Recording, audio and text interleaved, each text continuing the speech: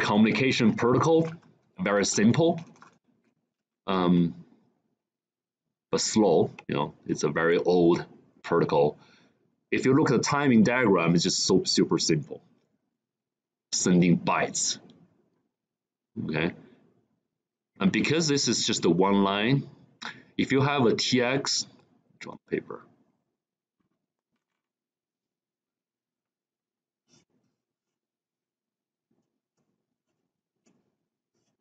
There are two device, uh, two devices, and uh, this is RX, this is TX. so when you make the connections, you should do this, right? If this is Arduino, for example, Uno, and this is a sensor. Transmitter should be connected to the receiver, and the receiver should uh, receiver should be connected to the transmitter uh, of the the other device, right? And there's only one line. One line means you can only hold one bit for each line. So I have to do serial. That's why it's called a serial communication. A lot of times UART, they use UART or serial interchangeably, uh, but there are so many other protocols that are also serial, just one line, like I2C and uh, SPI as well. They're, they're all serial, but a lot of times the general term of serial is usually referred to UART because probably because it's the first uh, serial communication protocol was available a long time ago. Um, if this is TX, for example, if you look at this diagram, so TX, TX here is shorted to RX. When you want to tell the the follower that you want to start the communication, you have to pull it down to ground first. So the first bit will be a starting bit, which is a zero. You have to put it down first to show that, uh, to tell the follower that you want to start the communication. And then followed by data. It could be zero or ones, D0 to D7, that's one byte. And followed by a parity bit, where I learn what the parity bit is. And then put it up to one to finish the transmission of one byte. Pretty simple, right? Put it down first so the transmitter put it down first and then send the data, including the parity bit, and put it up. So if you look at the, the code here,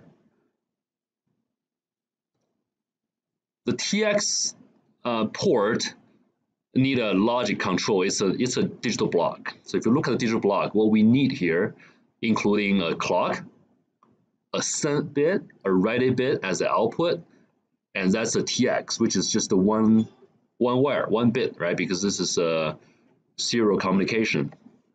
So the data is uh, 8-bit data and clock depends on how fast you want to run it. And send is whenever the data is ready, you put a send, uh, give a one to send. So you are able to send all the serial bits through the this one line. And ready means you are ready to send another byte. It's just one, one bit here as well. So these are all the inputs and outputs for this digital block. So the um, the places that you need to notice is, for example, here, you have a few actually three different states, ready, RDY, right? RDY, low bit, send bit. Um, so during the ready state, it just reset everything here first. And when sent, so this is important to see, okay? There's, I know there are a couple of lines, this can be confused if you're not familiar with it, but there are a couple of pretty critical parts of it that you need to understand. So first, if you don't have the send that bit, which is the input bit here, right, the indicator here, it's like the enabling bit. If you don't have that one get enabled, you're not sending anything over. So only when send is one, you turn it on, right? Then you assign this um, zero, one, zero will be the first bit. If you look at the timing I have to put it down first. So how do you put it down? So you just assign the LS, LSB a zero, right, for the data line, right? Just give a zero there. So the first uh, the first bit, which is LSB being sent out, will be will be zero, which means you put the uh, data line down to zero to start the communication. And the last, the MSB must be one because you just put it up to one to stop the transmission, you're done. But in the middle, you sandwich the data in the middle. Um, so you put it down, send the data, put it up to finish the transmission. Okay. And this one, the TX data, which is a register here, is still 10 bit. It's the 10 bit data to host the starting bit and the ending bit and also the data in there. Okay. So when you send it out one by one, you follow a certain frequency. See, it's, the, it's still the same same variable, text data, which is a 10-bit data. Okay, you send it one by one by using the index here, like it could be text data zero until text data nine. To send it one by one to tx bit, which is the one bit output here. That's one thing you need to know, okay? A quick question here. So what is this zero doing here? What does this zero do? Start the transmission. What about one here? End the transmission. How do how could you tell? From the timing, right? Yeah, the first bit to be sent has to be zero because you have to put down to zero to start the transmission. Okay. How many bits do you have for this timing gram? Uh, it's being indicated by this timing gram. How many bits you are sending? Hmm? 11. Yeah, it's including the starting and ending bits, right? And then including the parity bit, and also plus 8 bits of data, you have 11 bits. So how many bits do you have over here? So look at the, the width of the data variable here. And counting these two bits, how many bits do you have for this module? Which one is missing? Yeah, so in that case, this transmitter doesn't have a parity bit. So the first example we created from um, here and being implemented to the FPGA board doesn't have a parity bit generator. Okay. And debounce module, we're pretty familiar with that. So you just directly reuse it. Don't modify it because we already created it's a digital block. You can directly grab and use. Just uh, include it into your top design.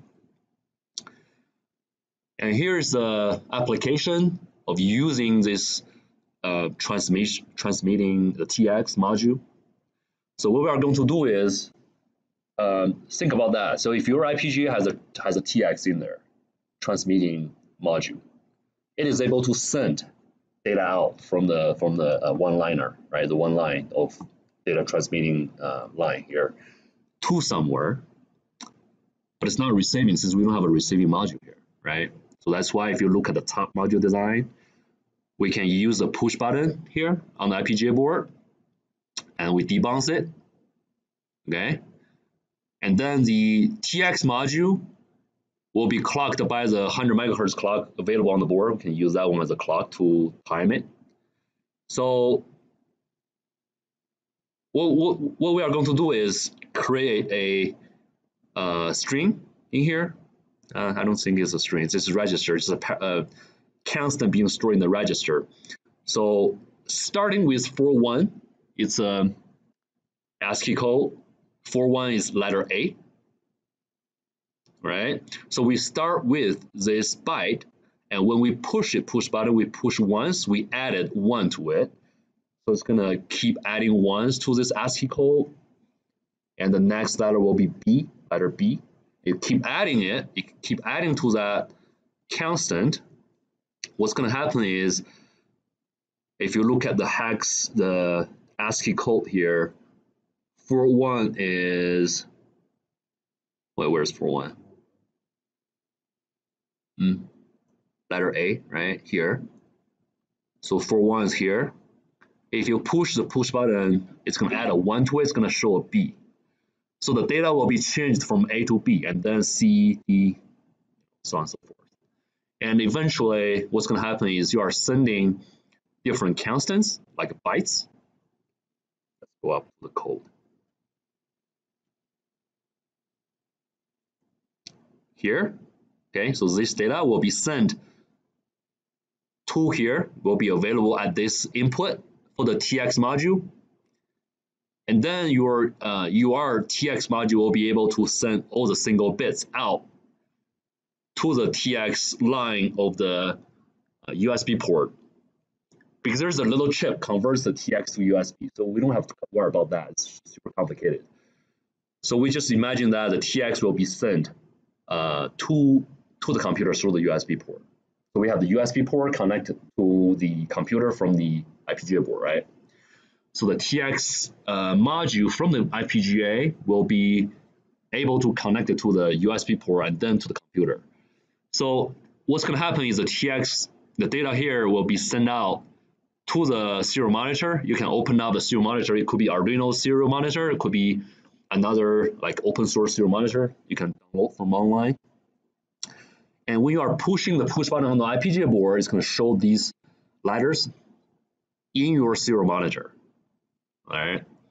And there's no Arduino involved, keep in mind. So just the FPGA and the push button, uh, your URTX module, and then the Arduino IDE, just the GUI, or just using the GUI to open up the serial port and display whatever has been sent or received by the computer through the uh, TX. Does that make sense? Okay. So the code is already provided, just let you guys play with it. Um, this, this module is available here, all right? And the top module is here. So we do need the top module because we need to make the connections uh, between the buttons, the clock, and all the other things to the FPGA's uh, peripherals, and also giving a constant to it as well. Okay.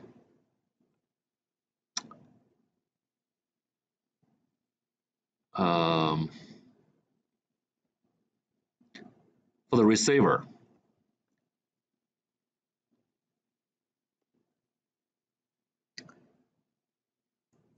the block looks like this. So you have to know the inputs and outputs have a clock, and the receiver's input pin from the data should be how many bits? The input of the receiver module. How many bits do we have the uh, how many bits do we have for the input line of the receiver? I just one because it's a serial, right? Just one. Just want to make sure you guys are still awake.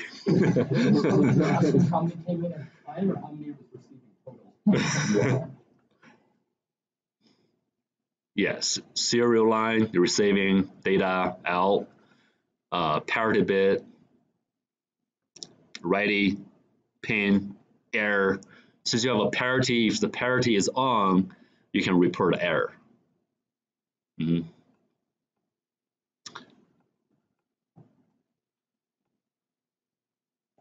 Jump in between different states. Um, oh, we have what we haven't covered here is the baud rate. What's going to happen for the timing? So you'll probably have modified the baud rate, the body rate for the UART, the serial monitor. Usually we use 9600. Remember that? That's 9600 bits per second. Let me see if I can have that included in the, oh, here. Usually you change it to 9600 beats per second. Uh, but this is faster, which is fine as long as your serial port uh, knows that. Okay, so if you, for example, your Arduino IDE, you set up 9600, then your hardware has to be 9600 at the same time in order to receive the correct uh, uh, character, uh, characters from the hardware.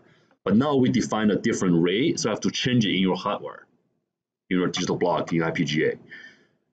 But the first example, the first example use a push button um, to display a letter in the serial monitor that we used 9600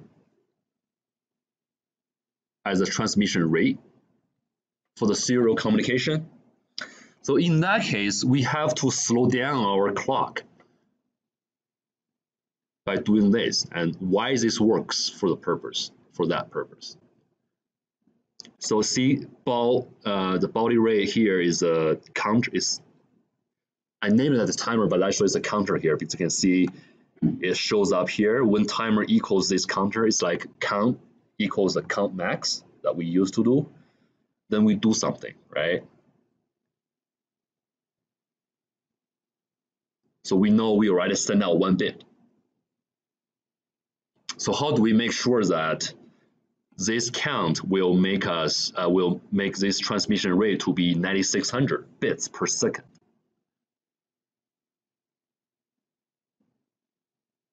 So does this division make sense?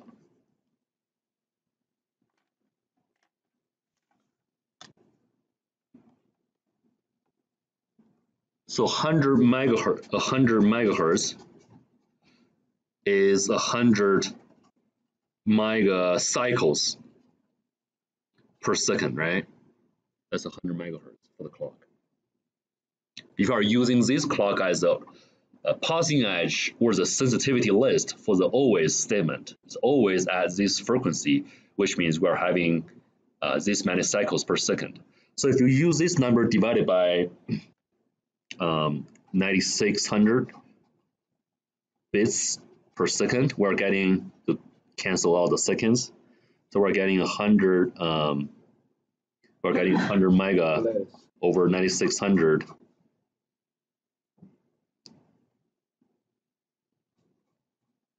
count per bits, per bit, right? So we want to count until this number of count to send another bit. We have to wait to count to this many counts to send out another bit. So we can make sure that the transmission uh, frequency will be 9600 bits per second. So that's why we uh, have a division here. And then we are using this number as a count max. Okay.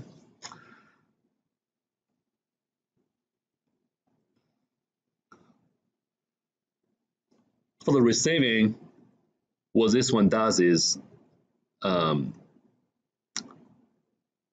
we have a, see, uh, because the Arduino serial monitor doesn't work really well, so I think for the receiving part, what I did is I used the open source online um, serial monitor, and you can even set up a parity uh, setting configuration here. So for example, if I use the even parity uh, parity generator, then what's going to happen is the final, the received um, data will have like even number of ones in there. So the receiver, because this this one is a sending, is a sender, so it's sending uh, stuff to your FPGA. Um, so you have to design a uh, even parity checker on FPGA. So what's going to happen is you can display all the bits, including the data being received and the parity bit and the error bit, and also the number of uh, number of data that you have received by far. So these ones can be implemented in your receiving code here, so we're all provided. Another thing you need to know is we haven't used this kind of statement before. So see, I included the URX, the re receiving module into this top module. And immediately I'm having this statement here. Okay. So what this one does is it's going to override, it's going to override or override the parameter, the first parameter in your submodule. So when you include it here, For example, when you include this module here, if you have a parenthesis, you can have multiple parameters parameters to be included in the parenthesis. So you can um, override the parameters in the submodule sequentially. But since we only have one uh, in the parentheses, which means we, we are only override, overriding one parameter in the submodule, it's actually the first one. So if we come back to the receiver's module here, if you look at the statement, so the first parameter in the submodule is actually the body rate. So what that means is you don't really have to change the body rate in your receiving module, receiver module all the time. When you include it in the top module, you can override it. If you want to use a different body rate for the serial monitor, for the serial block, okay, you can do that. So even though I have a 9600 in the, in the receiving module, right? But when I include it into my top for the design, I can always change it. This is definitely faster. Okay, sometimes you need a faster transmission rate. That that's how you can change it. And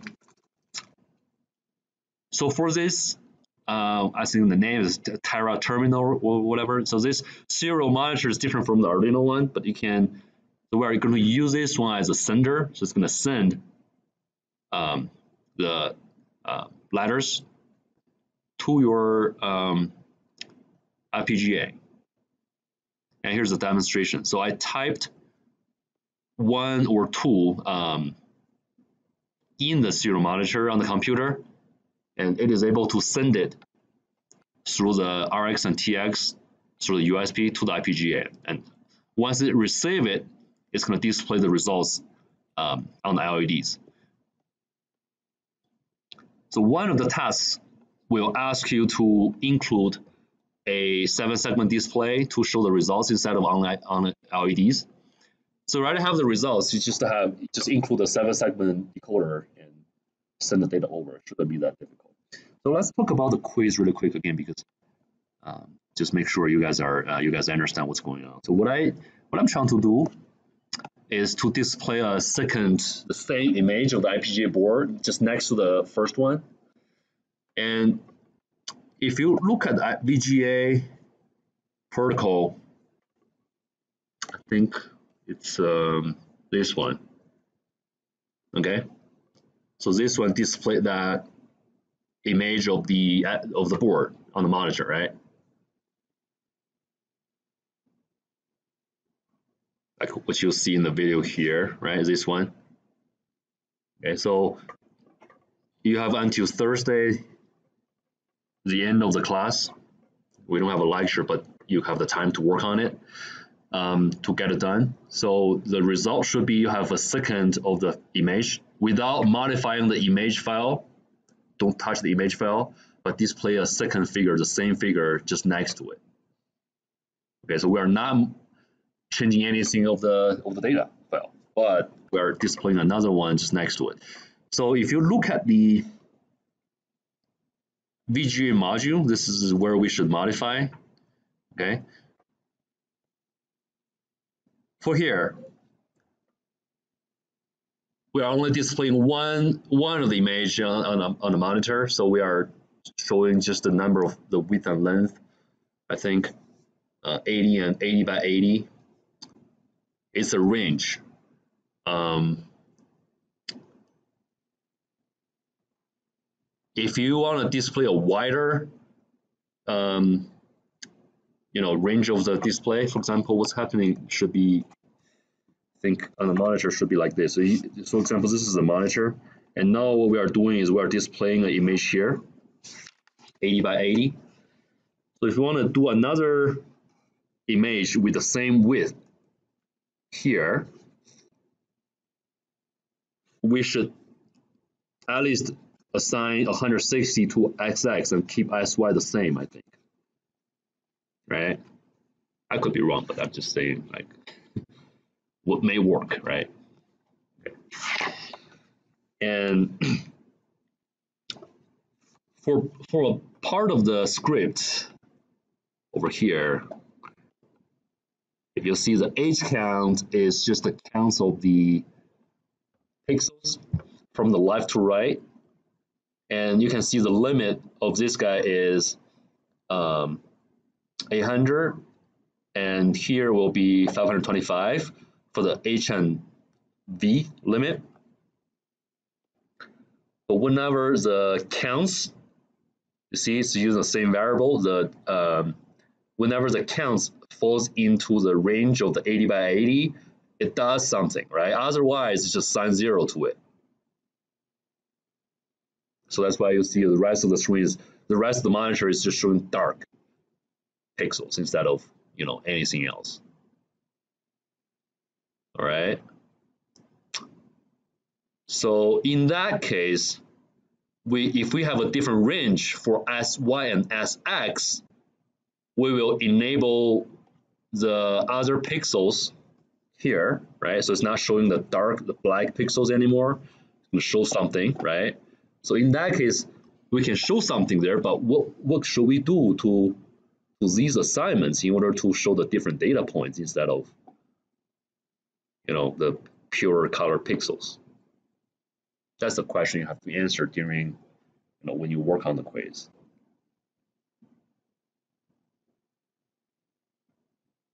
So what I was trying to do is, because I was looking at the data file,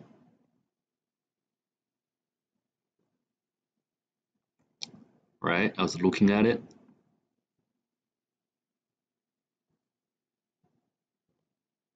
It's just the line data. And starting with OF, you know, it's a 8-bit data file. That makes sense because we're reading 8-bit, you know, RGB data from it. So it's a the image file is an 8-bit um, image file. So every pixel will be resolved by 8 bits. That's why the quality of the bits are not really good. You're seeing the color of the board should be blue, but it's showing some like greenish color. Um, I so firstly I was thinking about if we can you know increase the resolution, but we have to modify the image file first, which will complicate things. So let's don't don't change anything to the data file. Still use uh, bytes for each pixel. If I scroll down, we can see it will start changing uh, to different colors, right? But they are all aligned in one column. It's just one column. So when the, all the pixels are being read from the uh, image file, I can see because it's a one dimension data file, just one line. That's why I, the, the pixel address is not, it's only one dimension as well. It's just adding one, keep adding one to it. So it's reading all the uh, pixel data file in, in one column from the very top to the end. Uh, but your program here will uh, tell this uh, where this pixel should be uh, should be placed in the monitor. What that happens is you I think what happens is here um, for the monitor when it scans through all the pixels.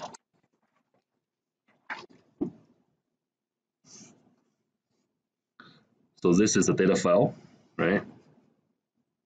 The .coe file. Have all the data here.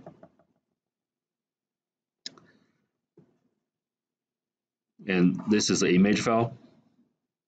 So read the first pixel and assign the first one to it. And then going horizontally first because it's doing the H count first. So the H count is adding one until it reaches the, the H count max, which is uh, H limit. Right? And then move to the next uh, row. So it's actually scanning from left to right and then from top to bottom. That's the, that's the order of the scanning. So whenever here, is, but this one doesn't change the dimension, it's just one dimension, so keep adding one to it. So what that means is whenever it's over here, it's assigning the first pixel to it, the first data to the first pixel, and the second one will get the second one. And for the first 80 pixels, we'll take all the 80, the first 80 data points from the image file. And then you'll start with the second line, and then you'll start from 81 to 160, right, for the second row. That's how that works, if I'm right. we'll see by the end of the day see if that works. If I add another one here, let's simplify it first. For example, it's not 1 to 80, it's 1, 2, 3, 4 for the image. Okay, 5, 6, 7, 8, and 9, 10, 11, 12. For example, it's a 4 by 4. Okay, 4 by 4 image instead of 80 by 80. And if we have another one here, the address of the pixels should be the same. Should be one, two, three, four, right? Should be the same.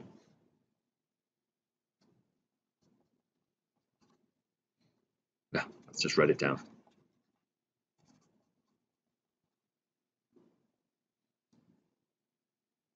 These are the numbers numbers of the uh, data points from the from the file. Okay.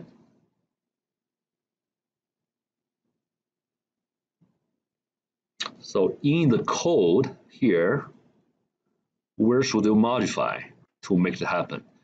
So the original code doesn't change anything. It just keep adding one to it. It's linear. Just keep adding one to it.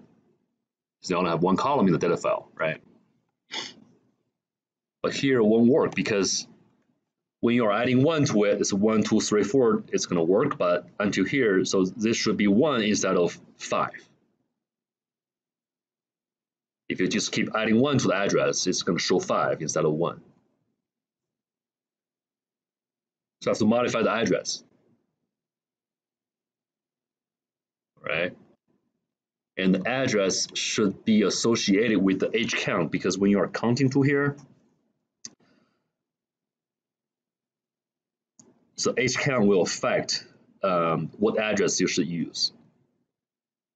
So I make it so that each count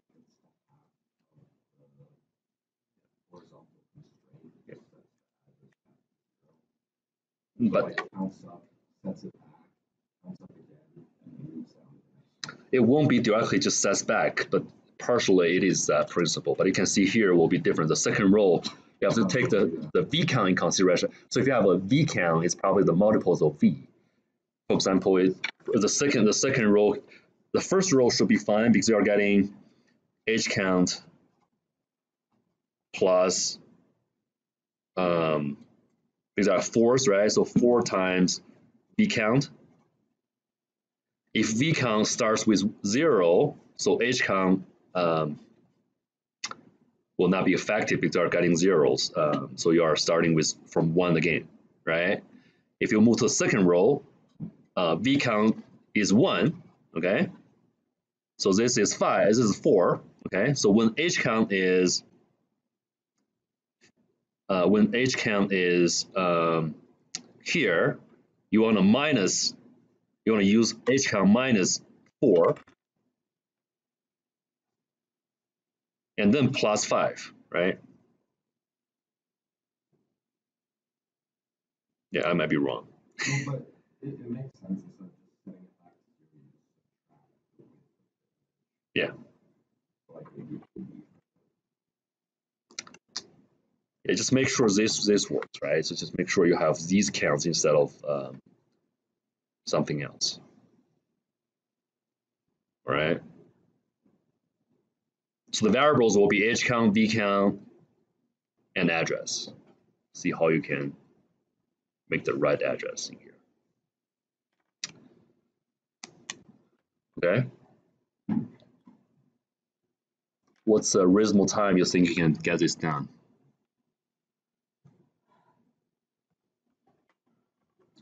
It will be like, for example, the you need a if statement here, right? So it's going to be if h count because h count is always from 0 to 160 because whenever you move to the second row h count is being re reset. So h count is always cycling through 0 to 160 or 159 right? Whenever it reaches the limit it's going to reset it. No I was wrong. Sorry. So it's actually hitting here right, is hitting the, the maximum. The, the other end of the monitor is actually this one, 800, right? 800 minus 1. that's the H count. Well, H count will keep going, keep moving. So in that case, we have to do everything within the range here, right? I have to think about it. How can we do it? We probably Less than H max, You just have, we probably have to use uh you just have two, couldn't you just modulus by eighty? You have two uh, SXs. hmm? You have two SXs, so like, um, What if you just modulus by eighty as it goes over oh, I guess you're right. You could have two H counts. You don't want to. Have like a primary H count that does scan across, Yeah. and then another H count that relates to. Whatever your offset is. well, the primary is H, um. Oh, what if That's the just, one that's like going from beginning of the monitor to the end. yeah. if you just had another SX? And then, so you have like an SX zero and an SX one, and then Mhm. you have like an if H count is less than SX zero. Um, That's where we are gonna modify. Yes. yeah, and then you have another SX, SX one, which is uh, like one sixty. Yeah. And then it says like if S or if uh, H count is less than SX zero, do Mhm. this. Mm. And if it's greater than SX zero but less than SX one, Yes. Yeah. Yeah, that's what I did. you just shift everything. Yeah, it's just, it's just there's some minor errors. You just have to debug it, right? Whenever never think it's gonna work, but it, usually it won't. Let's take some time to debug it. All right. I think this will take me. This is